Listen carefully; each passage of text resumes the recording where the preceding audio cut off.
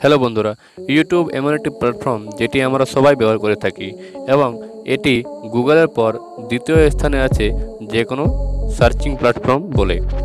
কিন্তু আজ আমরা জানব, আমরা ইউটিউবে বিভিন্ন কোয়ালিটির ভিডিও দেখে থাকি। কিন্তু আপনারা কি জানেন, যদি কোনো ভিডিও একশো চুয়াল্লিশ পিক্সেলে কিংবা দুশো চুয়াল্লিশ কিংবা তিনশো ষাট অথবা একশো আশি পিক্সেলে দেখা হয়, তাহলে প্রতি সেকেন্ডে কত এমবি খরচ হয়, চলো জেনে নিই। যদি আমরা ইউটিউবে একশো চুয়াল্লিশ পিক্সেলে কোনো ভিডিও দেখি, তাহলে এক সেকেন্ডে one point three MB data খরচ হয়। যদি দুশো চল্লিশ পিক্সেলে দেখা হয়, তাহলে এক সেকেন্ডে three point three MB data খরচ হয়। যদি তিনশো ষাট পিক্সেলে দেখা হয়, তাহলে ফাইভ এমবি ডাটা খরচ হয়।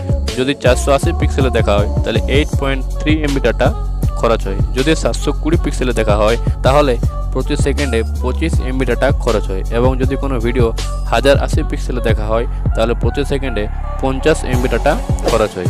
এমনই আকর্ষণীয় তথ্য জানার জন্য এই চ্যানেলটিকে অবশ্যই সাবস্ক্রাইব করে রাখবেন। ধন্যবাদ।